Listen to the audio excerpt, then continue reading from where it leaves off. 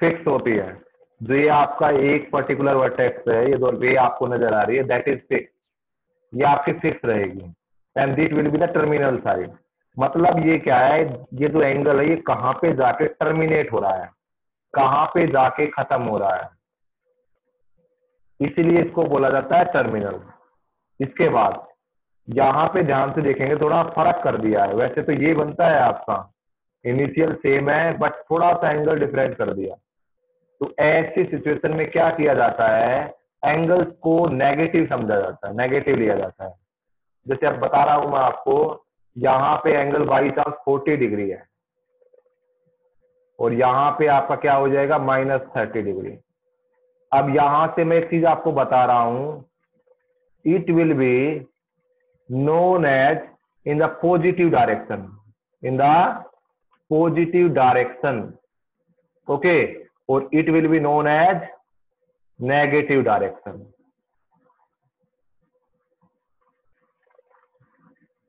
इसीलिए इसको बोला जाएगा नेगेटिव एंगल ठीक है? और इसको बोला जाएगा पॉजिटिव एंगल समझ में आ रही है आपको सबको? कि इसको आप नेगेटिव एंगल बोल रहे हैं, इसको आप पॉजिटिव एंगल बोल रहे हैं। क्यों बोल रहे हैं? The reason behind it it is in the positive direction और it is in the negative direction okay ये चीज़ क्लियर हो गई आपको सबको? ठीक है? इसके बाद ध्यान से सुनिएगा। अभी तक हम सिर्फ़ एंगल्स के बारे में बात करते आए थे।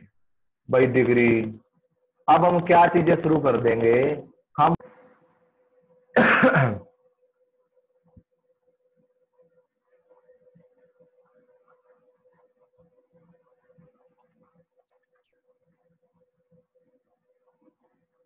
yes, now you are getting me?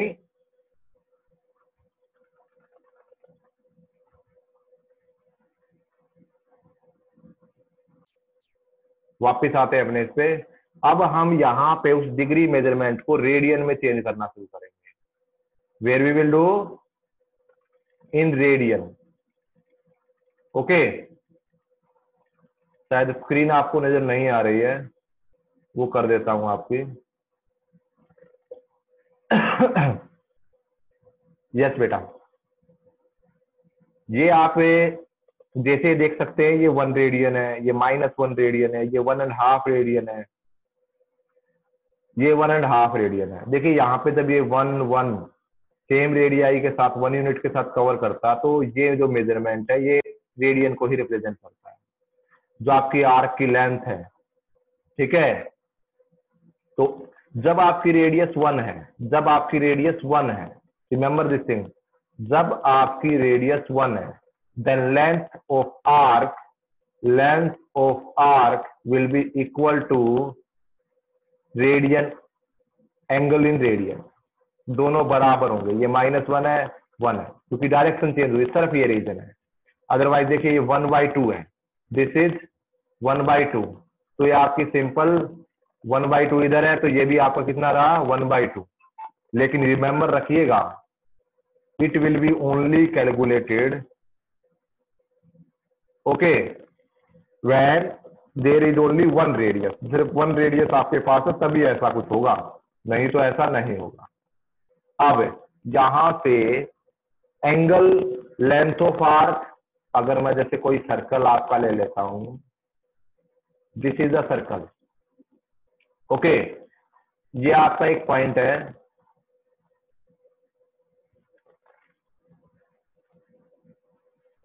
ये मिडल में आपका एक पॉइंट है।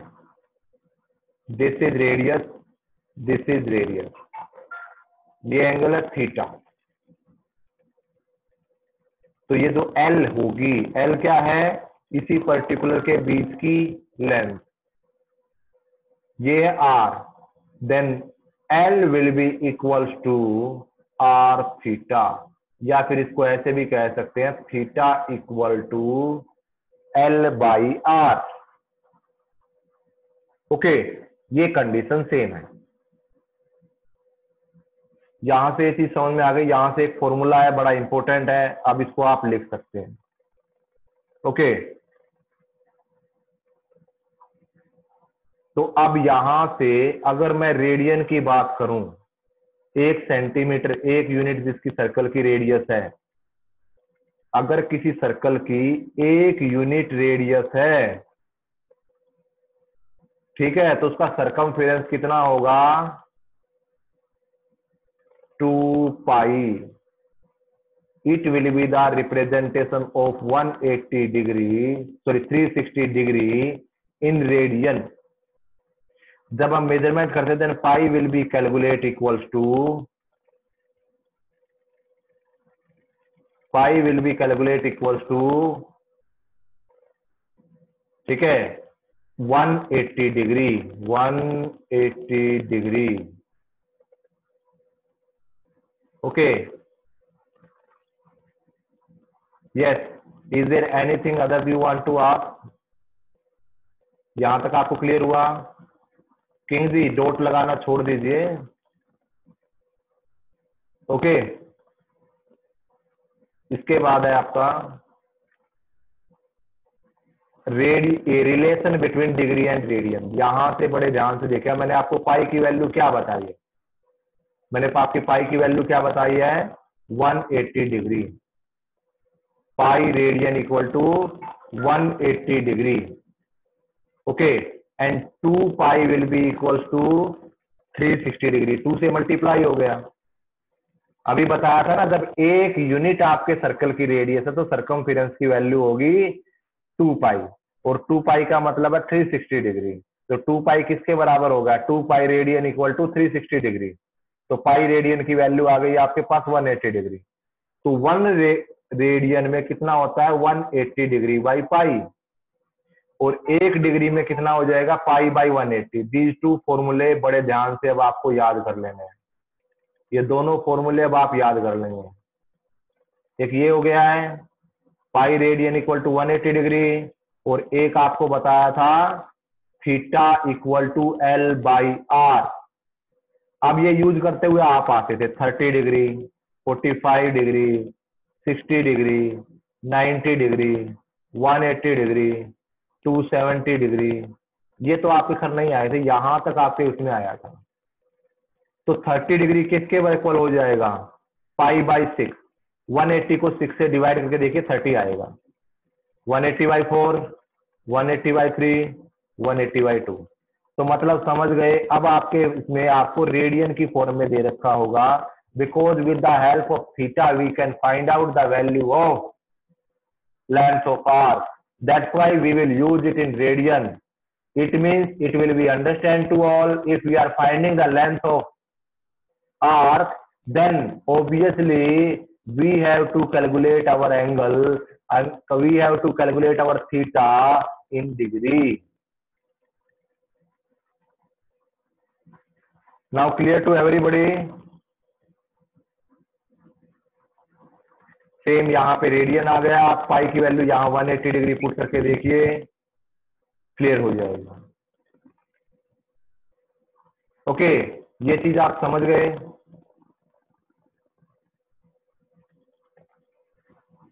इसके बाद ये दो फॉर्मूले फिर से आपके बता दिए हैं मैंने। अगर आपको किसी को रेडियन में मेजर में करना हो तो आप ये चीज़ इंप्लीमेंट करेंगे। रेडियन मेजर ठीक है और degree measure this one and this one ये दोनों आपने करने इनको अपनी कॉपी में, एक तो आपका theta equal to L by R वाला, ओके, और दूसरा आपका पाई इक्वल टू 180 डिग्री, और दोनों ये फॉर्मूले अपनी थर्ड चैप्टर की एक्सरसाइज शुरू करने से पहले करेंगे, लिखेंगे। ओके? पहली एक्सरसाइज में ये फॉर्मूले आपके काम आने हैं, जो आपको करने हैं। आप देखिएगा भाई। अब इनको आपको रेडियन में चेंज करना है। You have to change in to the radian ये आपको रेडियन में चेंज करने हैं। तो रेडियन में चेंज करने तो क्या करेंगे? डिग्री है। वापिस जाता हूँ एक बार आपको थोड़ा रिमेंबर करने के लिए। 25 डिग्री है। रेडियन में चेंज करना तो यहाँ करेंगे। क्या लिखूँगा मैं यहाँ पे? Pi by 180 equal to 25 solve it pi की वैल्यू पुट मत कीजिएगा। पाई को पाई में रहने दीजिएगा। It will change into the radian पाँच से काट दीजिए। Five pi by thirty six answer समझ में आ गई आपकी बात? ठीक है? ये आपने सबने करना है। ओके इसके बाद आपका है minus forty seven degree thirty minute. Thirty ये मिनट्स है डिग्री के लिए आपकी। तो इसको क्या करेंगे? सब पूरे को डिग्री में चेंज करेंगे। Thirty by sixty. It will be equal to minus forty seven और वन बाई टू और मल्टीप्लाई किसमें आ जाएगा? Five by one eighty two forty simple है फाइव ट्वेंटी सिंपल है. ओके अब नीचे वाले में आपको क्या करना है? रेडियन में चेंज करना है. रेडियन मेजर दिए हुए सॉरी और आपको डिग्री मेजर में चेंज करना है. तो आपको क्या करना है? इसको दूसरे वाला फॉर्मूला 180 एट्टी बाई पाई और इसकी वैल्यू रख देंगे। पाई की वैल्यू जब डिग्री मेजर में चेंज करना हो तो क्या लेनी होती है? 22 टू बाई सेवन तो आपका होमवर्क सिर्फ़ इतना ही रहेगा कि आपको ये पहले दो क्वेश्चन और ये फॉर्मूले लिखने और अपना chapter number two chapter number two complete करना है तो homework what will be you have to complete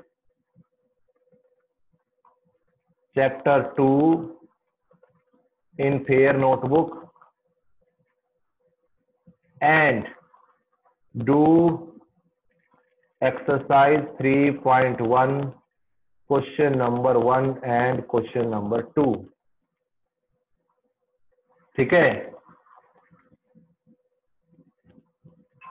ये आपने फिनिश करना है। यही आपका होमवर्क रहेगा। और साथ में राइट फॉर्मूला डाल दो